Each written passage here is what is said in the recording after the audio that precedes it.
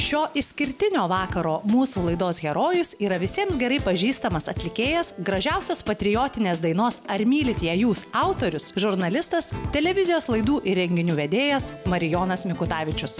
Tėvynės patriotų save laikantis žinomas vyras prisipažįsta, žodį pilietiškumas aš keiščiau į samoningumas bei supratingumas. Šie pakaitalai man kur kas labiau priimtinesni ir suprantamesni. Samoningumas tai yra atsakomybė e, prieš kitus ir atsakomybė už tai, ką tu darai, atsakomybė už, už pasiekmes, e, kurios lydi tavo veiksmus. Ir ko gero, samoningas žmogus e, yra ko gero tvarkingas ir teisingas žmogus. Aš galvoju, kad prisidėdamas prie kažko, kas yra nesavanaudiška, bet mano galva atrodo tikslinga ir teisinga, aš tiesiog darausi šiek tiek geresniu žmogum ir galbūt mm, pridingiu tas klaidas, kurias kažkada padariau. Tai, tai yra labai egoistiškas noras, bet iš esmės būtent tu, tai yra pagrindinė mano motivacija, tuo aš vadovaujuosi. Ir tikiu, kad, sakysim, tam tikri tavo veiksmai gali atnešti tam tikrą gėrį ir, ir, ir tam tikrą teisingumą ir, ir gerų dalykų šiaip mūsų visuomeniai. Tu važinėjai į susitikimus, sakysim, su periferinėmis bendruomenėmis, tu daliniesi patirtim su jaunimu ir moksleiviais. Tu dalyvauji labdaringose misijose, tu aukoji pinigus, niekam nežinant kartais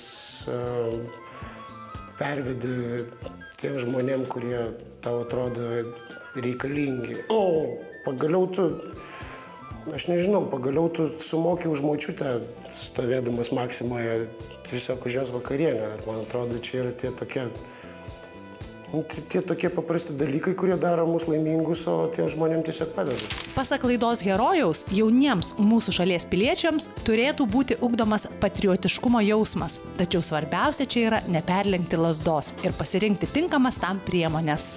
Jeigu mes kalbame apie patriotizmą ir jeigu mes įsivaizduojame, kad, sakysim, tam tikras e, patriotinis edukavimas žmonių, kažkoks jų vystimas kaip žmogaus ir kaip savo šalies piliečio ar kaip savo šalies patrioto yra reikalingas, tai sakysim, man atrodo, tokios išvykos kaip misija Sibiras yra tūkstantį kartų prasmingesnės ir geresnės augančiam žmogui negu tai, kad kokie nors Kauno politikai siūlo gėdoti Lietuvos gimną kiekvieną dieną atsistojus, ar tai, kad tu klasės sienas nukabinėsi didžiųjų kunigaišių paveikslais, ar kad iš, išrašais iš Maironio ten, ar, ar Donelaičio lyrikos. Tokie vat, aiškus e, veiksmai susiję su nuotykiu, e, pateikti pakankamai patraukliai, e, kas yra vis tiek įdomu jaunam žmogui, yra kur kas geriau negu bukai, bukai kalamos dogmos, kurios vėlgi pripažinkim save jau vaikystėje, nu, daugelį mūsų vertę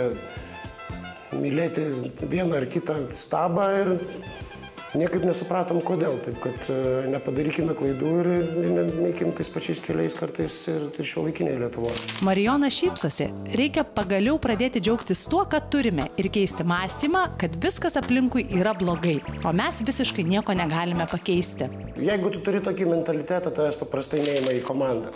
E, jeigu tu turi tokį mentalitetą, tavęs neima į labai gerą darbą. E, jeigu tu turi tokį mentalitetą, tu niekada neišrasi nieko ir niekada nieko nesukursi. Taip, kad e, ne aplinka kalta, kad tu taip jautiesi. Tu tiesiog pakeisk savo mąstymą.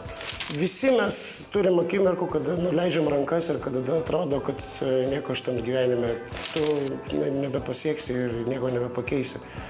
Bet, bet visi mes taip pat turime šansą tas rankas pakelti ir, ir pasinaudoti situaciją ir, ir pakilti vėl. Džiaukimės. Mes, ta prasme, mes dabar su nieko nekovojam, mes ne karo metas.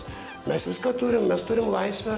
Taip, ta prasme, mes apraudojam kai kurias na, dienas, kada reikia, bet visa kita yra džiaugsmo šventė. Mes laisvi, ko mums rūpintis dabar. Mes žiūrėkime į priekį ir taip toliau. Tai va aš tą pasilgstu.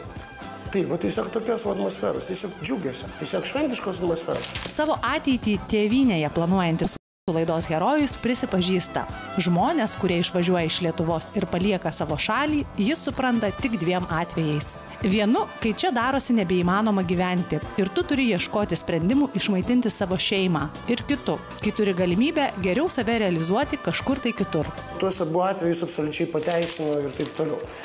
Bėda kad aš nei vienam iš tų atvejų nepriklausau. Tiesiog nei man buvo taip labai sudėtinga čia kad reikėtų iš čia važiuoti nei kita vertus man kas nors siūlė kažkokį tai stebuklingą darbą Vemblio stadione arba ten, kad atvažiuok Mariau pakeisi Eltoną Džoną. Deja, to neįvyko, taip kad man net nekyla minties, kodėl aš turėčiau išvažiuoti. Man tiesiog čia gyventi patogu ir čia gera.